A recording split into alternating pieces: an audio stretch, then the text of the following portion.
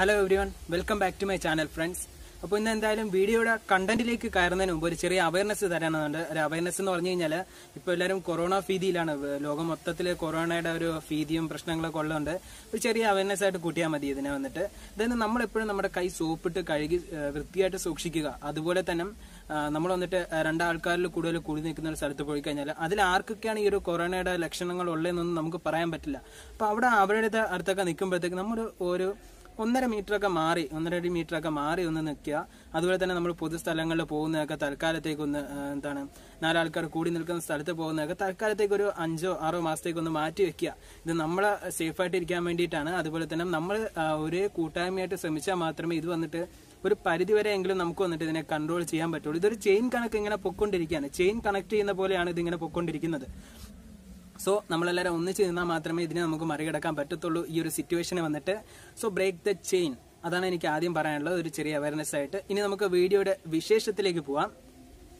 ഇന്ന് ഞാൻ ഈ വീഡിയോയിലൂടെ പറയാൻ പോകുന്ന ഒരു ചെറിയൊരു കാര്യമാണ്. അതായത് നമ്മൾക്കുള്ളിൽ അടങ്ങിക്കിടക്കുന്ന അല്ലെങ്കിൽ നമ്മൾക്കുള്ളിൽ ആരും കാണാതെ ഒളിച്ചു കിടക്കുന്ന ഒരു കഴിവുണ്ടായിരിക്കാം. അപാരമായ ഒരു കഴിവുണ്ടായിരിക്കാം. ആ ഒരു കഴിവിനെ കണ്ടെത്താനുള്ള ഒരു ചെറിയൊരു സ്മാൾ ട്രിക്കാണ് ഞാനിന്ന് ഈ ഒരു വീഡിയോയിലൂടെ പറയുന്നത്. സ്മാൾ ട്രിക്കാണ് അതെന്ന് അതെന്ന് വെച്ച് കഴിഞ്ഞാൽ ഇപ്പൊ ഞാനൊരു അഞ്ച് ക്വസ്റ്റ്യൻ പറയും. ആ അഞ്ച് ക്വസ്റ്റ്യനിൽ നാല് ഓപ്ഷൻസ് കാണും. ആ നാല് ഓപ്ഷൻസിൽ നിങ്ങൾ ഒരു ഓപ്ഷൻസ് അതായത് ആ ഒരു ക്വസ്റ്റ്യൻ കേട്ട ഉടനെ തന്നെ നിങ്ങളുടെ മുന്നിലേക്കുള്ള ഒരു ഓപ്ഷൻസിൽ ഏതാണോ നിങ്ങൾക്ക് തിരഞ്ഞെടുക്കാൻ പറ്റുന്ന ഉത്തരം എന്നുള്ളത് ആ ഉത്തരം തിരഞ്ഞെടുത്തു കഴിഞ്ഞാൽ ആ ഓരോ ഉത്തരങ്ങൾക്കും ഓരോരോ മാർക്ക് കൊടുത്തിട്ടുണ്ട്.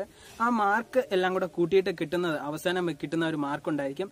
ആ ഒരു മാർക്കിലാണ് ഈ ഒരു എബിലിറ്റി അല്ലെങ്കിൽ നിങ്ങളുടെ ഉള്ളിൽ ഒതുങ്ങി കിടക്കുന്ന ഒരു കഴിവിനെ വന്നിട്ട് കണ്ടുപിടിക്കാൻ സഹായിക്കുന്നത്. അപ്പോൾ എന്തായാലും ഞാൻ കുറച്ചുകൂടെ വ്യക്തമായിട്ടൊന്ന് പറയാം. അതായത് വേറൊന്നുമല്ല നമ്മുടെ ആറ്റിറ്റ്യൂഡ് നമുക്കുള്ള ഒരു സ്കിൽ ഉണ്ടായിരിക്കും. ഒരു സ്കിൽ അല്ലെങ്കിൽ നമ്മുടേതായിട്ടുള്ള ഒരു പേഴ്സണാലിറ്റി ഉണ്ടായിരിക്കും. ആ ഒരു പേഴ്സണാലിറ്റി എങ്ങനെ നമുക്ക് കണ്ടെത്താമുള്ള കണ്ടെത്താമെന്നുള്ള ഒരു സ്മാൾ ആയിട്ടുള്ള ഒരു വണ്ടർഫുൾ ട്രിക്കാണ് ഞാൻ ഈ ഒരു വീഡിയോയിലൂടെ പറയുന്നത്. അപ്പൊ എല്ലാവരും വീഡിയോ ഒന്ന് ശ്രദ്ധിച്ച് കേൾക്കുക. ഈ ഒരു വീഡിയോയിലൂടെ നിങ്ങൾക്ക് വന്നിട്ട് നിങ്ങളുടെ കഴിവ് നിങ്ങളുടെ എബിലിറ്റീസ് കണ്ടെത്താൻ സാധിക്കും. അതുപോലെ തന്നെ ഇതിപ്പോൾ ഇതിപ്പോ കേട്ടോണ്ടിരിക്കുന്ന സാറന്മാരോ മറ്റാരെങ്കിലും ആണെങ്കിൽ അവർക്ക് വന്നിട്ട് അവരുടെ കുട്ടികൾക്ക് ഇത് വന്നിട്ട് പറഞ്ഞു കൊടുക്കാം. അതുപോലെ തന്നെ നിങ്ങൾക്കും ഇത് വന്നിട്ട് നിങ്ങളുടെ പരിചയത്തിലുള്ള ആൾക്കാർക്കൊക്കെ വന്നിട്ട് ഷെയർ ചെയ്യാം. ഷെയർ ചെയ്യാൻ മറക്കരുത്. എല്ലാവരും ഇതൊന്ന് ഷെയർ ചെയ്യുക എല്ലാവർക്കും. ഒരു അഞ്ച് ക്വസ്റ്റ്യൻസ് ഉണ്ടായിരിക്കും. ഈ ഒരു അഞ്ച് ക്വസ്റ്റ്യൻസിലും നാല് ഓപ്ഷൻസുകൾ ഉണ്ടായിരിക്കും. ഈ നാല് ഓപ്ഷൻസിനും ഞാൻ ഓരോരോ മാർക്കുകൾ കൊടുത്തിട്ടുണ്ട്. ആ ഓരോരോ മാർക്കുകളും ഞാൻ പറയുന്നതായിരിക്കും.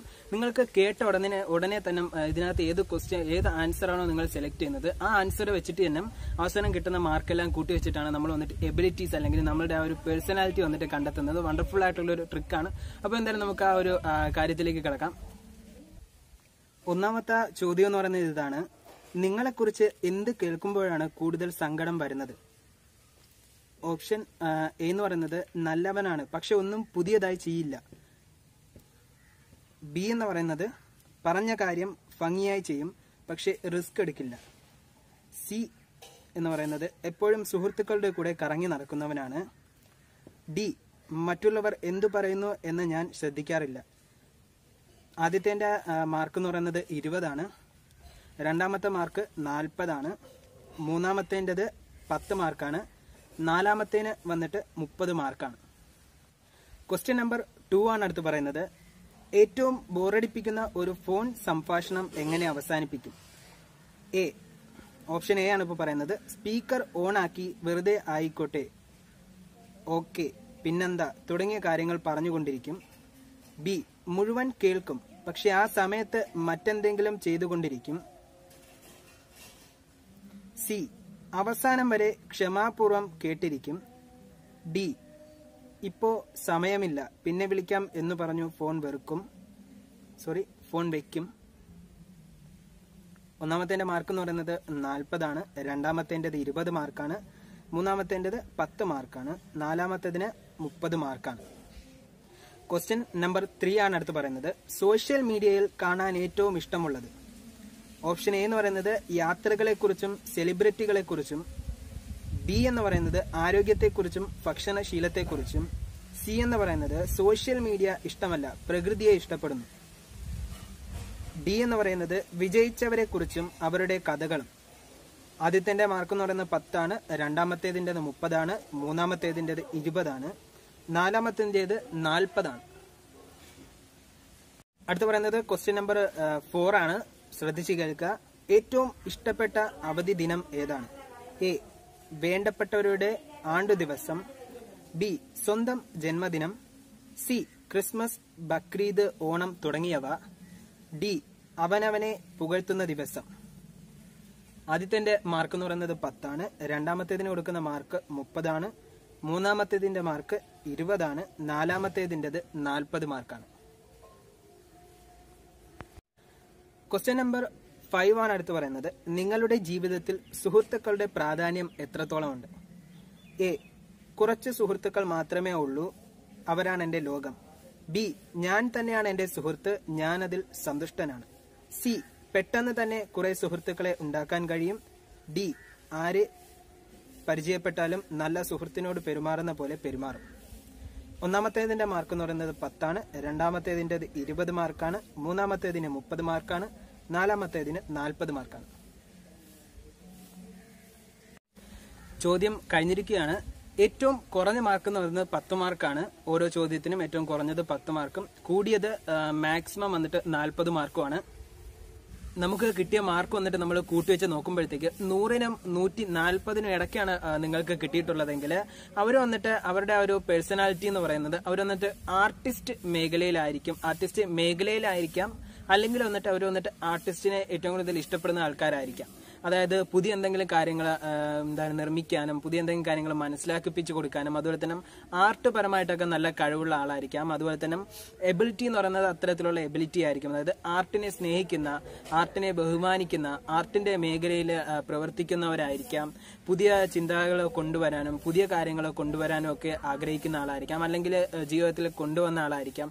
അങ്ങനെയുള്ളവരാണ് ആദ്യത്തെ എന്ന് പറയുന്ന ഒരു നൂറിന് നൂറ്റി നാൽപ്പതിനും ഇടയ്ക്കുള്ള മാർക്കാണ് കിട്ടിയിട്ടുള്ളതെങ്കിൽ.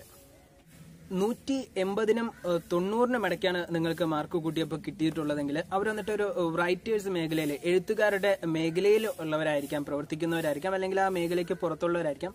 പക്ഷേ എഴുത്തുകാരെ ബഹുമാനിക്കുന്ന എഴുത്തുകാരെ സ്നേഹിക്കുന്ന ആ ഒരു മേഖലയിൽ വർക്ക് ചെയ്യാൻ ആഗ്രഹിക്കുന്നവരായിരിക്കാം. അതുപോലെ തന്നെ അവർക്ക് അവരുടേതായിട്ടുള്ള ചിന്താശേഷിയും അവരുടേതായിട്ടുള്ള സ്ഥാനവും എവിടെ പോയാലും ഉണ്ടാവും അല്ലെങ്കിൽ അങ്ങനെ ഉണ്ടാവാൻ ആഗ്രഹിക്കുന്നവരായിരിക്കാം. അത്തരത്തിലുള്ള ഒരു റൈറ്റേഴ്സ് മേഖലയിലുള്ള ഒരു പേഴ്സണാലിറ്റി ഉള്ള ആൾക്കാരായിരിക്കാം ആ, രണ്ടാമത്തെന്ന് പറയുന്നത്.